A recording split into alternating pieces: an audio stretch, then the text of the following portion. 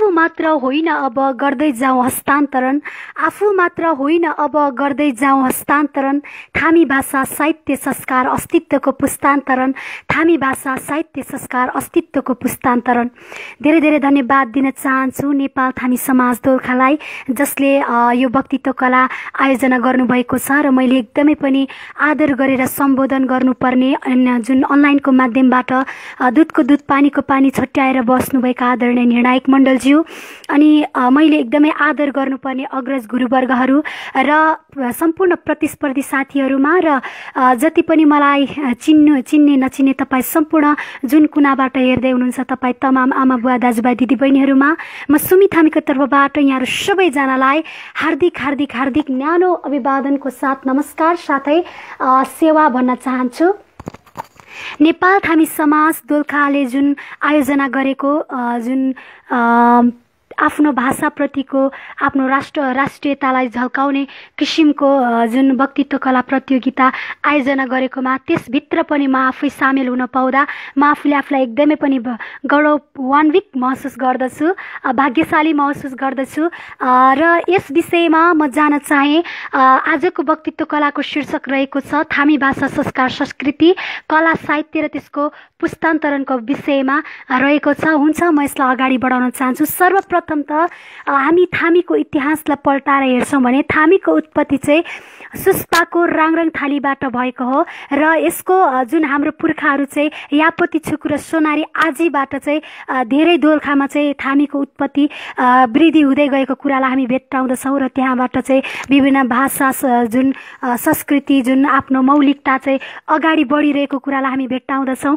र मलाई गर्व पनि लाग्छ किनकि म चाहिँ एउटा थामीको गर्वमा एउटा थामी भएर जन्मिन पाउँदा यो नेपालमा म आफू एउटा नेपाली भए तापनि म छुट्टै एउटा आफ्नो राष्ट्रियताभित्र म थामी हुँ भनेर गर्वका साथ मैले एउटा पहिचान दिन पाउँदा एकदमै पनि म आफूले आफूलाई भाग्यशाली महसुस गर्दछु। विशेष गरी आजको दिनमा हामीले आफ्नो भाषा र संस्कृतिलाई जोगाउनु पर्ने हुन्छ अनि आफ्नो कला साहित्यलाई चाहिँ अगाडि बढाउनु पर्ने हुन्छ। आज एक्काइसौँ शताब्दीमा हेर्छौँ भने हामीले हाम्रो कला र संस्कृति एउटा दुःख लाग्दो कुरा छ कि जुन पहिलेको भन्दा अहिलेको यो जेनेरेसनमा चाहिँ एकदमै धेरै जुन हाम्रो कलाहरू हाम्रो जुन भाषाहरू चाहिँ हराउँदै गएको लोप हुँदै गएको कुराहरूलाई हामी भेट्टाउँदछौँ। सभाध्यक्ष महोदय म के भन्न चाहन्छु भने एउटा दुःख लाग्दो कुरा त के छ भन्दाखेरि आज हाम्रो मान्छेहरू आफ्नै मानिसहरू चाहिँ आफ्नो थामी जातका मानिसहरू चाहिँ धेरै ठुल्ठुला पोस्टमा पुगिसकेका छन्।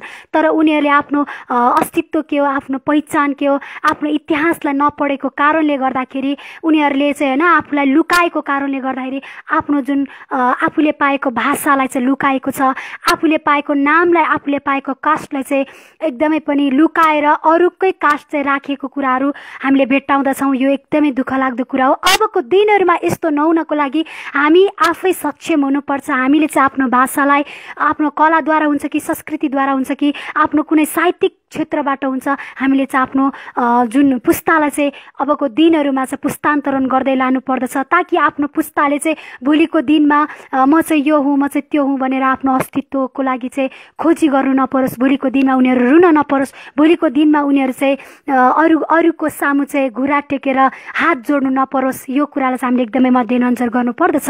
त्यस्तै गरी म अर्को कुरा के भन्न चाहन्छु भन्दाखेरि एउटा भनाइ छ।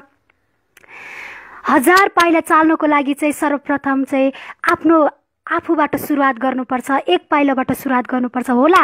हामीले आफ्नो पुस्ता आफ्नो पुस्तालाई आफ्नो भाषा संस्कृति कला पुस्तान्तरण गर्नको लागि धेरै समय लाग्ला। होइन धेरै मानिसहरू छिट्टै नै एकजु एकरूपता एकजुट नहुन नसक्ला। तर सर्वप्रथम तपाईँ हाम्रो आफ्नो घरबाट चाहिँ सुरुवात गरौँ। जब तपाईँ र म आफ्नो लम् जब खुट्टालाई लम्काउन थाल्छौँ तब साँच्चै नै त्यो कुरामा कुनै पनि असम्भव छैन। मानिसले गर्न नसक्ने केही पनि होइन। त्यो कुरालाई म एकदमै जोड दिन्छु। यो कुरालाई म एकदम विश्वासका साथ भन्न सक्छु कि अबको दिनमा अबको दिनमा हातेमालो गर्दै हाम्रो पुस्तालाई चाहिँ हाम्रो भाषालाई आफ्नो संस्कृतिलाई जोगाउनको लागि हातमा हात काँधमा काँध गर्दै जोगाउँ लम्काउँ नडराउँ नलजाउँ भन्न चाहन्छु। अनि यही भन्न चाहन्छु कि हामीले जुन दोलखामा जति पनि अहिले यो कुराहरू आयोजना गरिएको छ होइन आफ्नो जुन यो कुराहरू भइरहेको छ जुन वक्तित्व कलाको माध्यमबाट जुन अहिले आफ्नो भाषालाई जोगाउनुपर्छ आफ्नो संस्कृतिलाई आफ्नो पुस्तालाई चाहिँ पुस्तान्तरण गर्दै लानुपर्छ भन्ने कुरालाई जुन जोडका साथ जसरी यो प्रोग्राम प्रोग्राम राखिएको छ यो प्रोग्रामबाट पनि एक एकदमै धेरै खुसी छु। म भन्दा पनि खुसी अन्य व्यक्तिहरू हुनुहुन्छ जस्तो मलाई लाग्छ।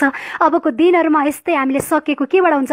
हाम्रो सङ्गीतबाट हुन्छ कि? हाम्रो साहित्यिकबाट हुन्छ कि? हाम्रो कविताबाट हुन्छ कि? हरेक कुराबाट चाहिँ हाम्रो वेशभूषा वेशभूषा हाम्रो लवाई खवाईबाट चाहिँ हामीले अबको पुस्ताहरूलाई हाम्रो पहिचान के हो? हाम्रो अस्तित्व के हो?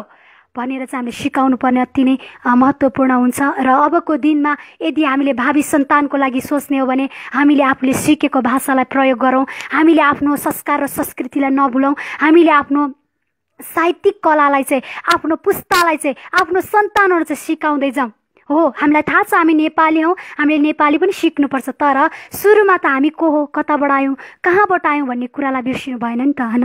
त्यही कारणले गर्दा तपाईँ र मैले आफ्नो अस्तित्व के हो पहिचान के हो हामी कुन घरबाट आयौँ कुन थरबाट आयौँ त्यो कुरा नबिर्सौँ।